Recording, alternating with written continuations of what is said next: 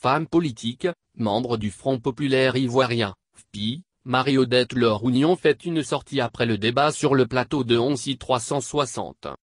Ce dimanche 15 août 2021, ont été invités sur le plateau de la nouvelle chaîne ivoirienne, ONCI, plusieurs leaders de différents partis politiques notamment Blaise Lasme, secrétaire exécutif de la jeunesse aide, Pulchéri leader de la société civile, présidente de l'alternative citoyenne ivoirienne, Lia Ferdinand, leader de la jeunesse du Front populaire ivoirien, Jefpi, et plein d'autres acteurs politiques.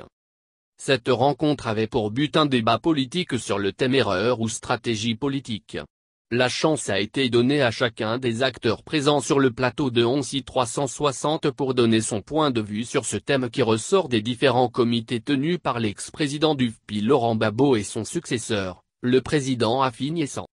À la question certain martel qu'Afin Guessan n'a pas voulu discuter avec le président Gbagbo compte tenu de son ambition présidentielle, qu'en pensez-vous? Lia Ferdinand, leader de la JEFAPI a répondu. Je vous rassure le président Afin Guessan a toujours considéré Laurent Babo comme son leader et comme son patron. Nous avons tous été témoins et cela depuis Bruxelles où résidait Babo après sa sortie de prison.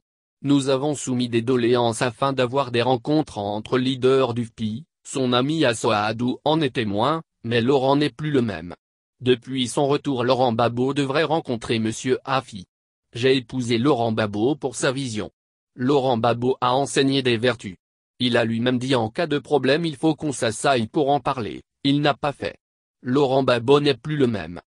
Ainsi donc suite à cette sortie, Marie-Odette Laure Union Niabri déclare lors d'une publication sur Facebook ce 16 août 2021. Celui qui peut démystifier Babot n'est pas encore né. Le renvoyer a encore échoué. Pour la femme politique du PI, Laurent Babo reste l'homme le plus stratège et mystérieux qu'il puisse exister, un fait que Babo lui-même démontre à travers plusieurs de ses actions. Chacune de ses actions est mûrement réfléchie, rien n'est fait hasard. Blaise Lasme, l'a lui aussi confirmé sur le plateau de 11 360 hier. Laurent Babo ne fait rien au hasard, il fait chaque chose en son temps. La preuve depuis son arrivée il a rencontré Bédia après Alassane et forcément il rencontrera les autres leaders.